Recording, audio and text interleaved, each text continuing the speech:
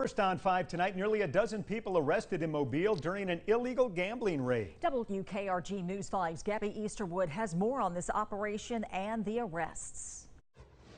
An illegal gambling ring busted. Search warrants were executed at several houses on Highland Drive on Mobile's north side. As a result of the search, 32 grams of marijuana were seized, along with more than $4,000 in cash and one firearm. Police tell us the gambling involved a dice game.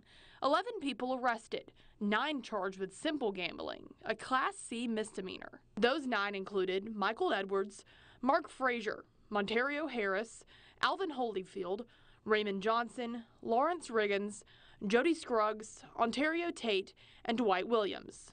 The two others arrested being Jordan Randolph, who was charged with marijuana possession and simple gambling, and Shanice Wilson, charged with only marijuana possession.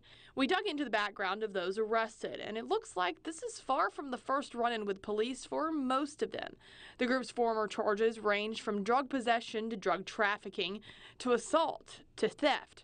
Michael Edwards, on the other hand, this is his first arrest. These arrests may not seem like a big get for MPD, but as Chief Paul Prine has said many times in the past, these types of crimes can lend themselves to violent crime, which is something the department has been focusing on. All 11 arrested will have a bond hearing tomorrow morning. In Mobile, Gabby Easterwood at WKRG News 5.